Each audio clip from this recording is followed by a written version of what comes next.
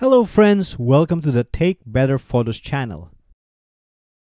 In my year-end top 5 desktop RAW editors video, I mentioned that one of the main disadvantages of Photomator was that its white balance slider could not properly remove the red color cast in this extreme example. Since that video, Pixelmator was kind enough to reach out in the comments and give some helpful guidance. Anto here mentioned that if you hold down the Option key, the white balance range should be larger.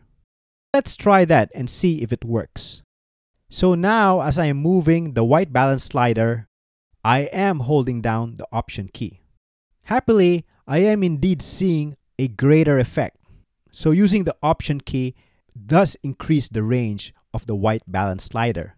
That being said, the effect is not perfect the color balance is now looking a little bit too pink. No problem, I'll move the tint slider to the green side. There, that's looking much better. Here is the before and the after. With this result, I think we can cross out the limitations of the white balance range as a disadvantage for Photomator.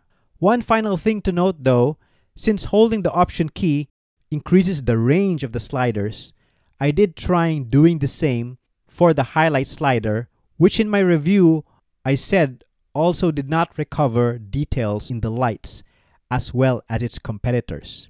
Unfortunately, after trying that out, it really didn't change its effectiveness. Therefore, the limitation of the highlight slider still stands. So I hope you found this short video helpful. Thanks to Anto from Pixelmator for clarifying this. And till the next video, I'm going to see you in the next one. Bye for now.